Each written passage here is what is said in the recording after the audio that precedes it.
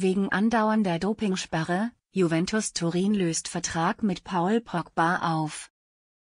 Der italienische Fußballrekordmeister Juventus Turin hat den Kontrakt mit dem französischen Ex-Gewinner der Weltmeisterschaft Paul Pogba wegen dessen Dopingsperre aufgelöst. Das gab der Club an dem Freitagabend bekannt. Man habe eine einvernehmliche Vereinbarung erzielt, dasjenige Arbeitspapier, dasjenige so lange bis 2026 datiert war, endet dadurch verfrüht an dem 30. November. Ohne italienischen Medien hatte Juve angeboten, auf Schadenersatz zu verzichten, sowie der 31-Jährige eine Absetzung bar Entschädigung ja sagen sollte. Schluss Februar hatte dasjenige zuständige italienische Sportgericht Pogba für vier Jahre gesperrt. Um er in dem August 2023 hinter einem Serie A-Wette nebst Juventus und Udinese Calcio einen zu hohen Testosteronwert aufgewiesen hatte. Auch CB-Muster bestätigte dasjenige Ergebnis. Pogba legte gegen sie Abstimmenernennung bei dem Internationalen Sportgerichtshof CAS ein, dieser reduzierte sie Absperrung schließlich auf 18 Monate.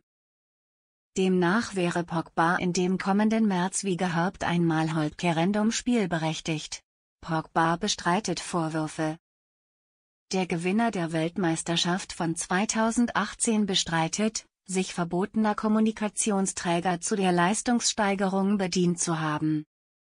Er gab indes zu, ein Nahrungsergänzungsmittel eingenommen zu haben, auf dessen Beipackzettel auf leistungsfördernde Substanzen hingewiesen wird.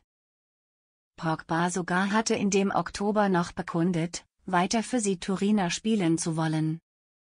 Er sei bereit auf Vermögen zu verzichten, um er zu diesem Verband zurückkehren wolle, sagte er damals der Sport. Ein solches Wiedergeburt dürfte es aber nicht mit höherer Wahrscheinlichkeit geben, Schluss Februar hatte dasjenige zuständige italienische Sportgericht Pogba für vier Jahre gesperrt. Um er in dem August 2023 hinter einem Serie A-Wette nebst Juventus und Udinese Calcio einen zu hohen Testosteronwert aufgewiesen hatte.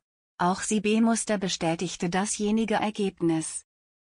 Pogba legte gegen sie Abstimmenernennung bei dem Internationalen Sportgerichtshof CAS ein, dieser reduzierte sie Absperrung schließlich auf 18 Monate.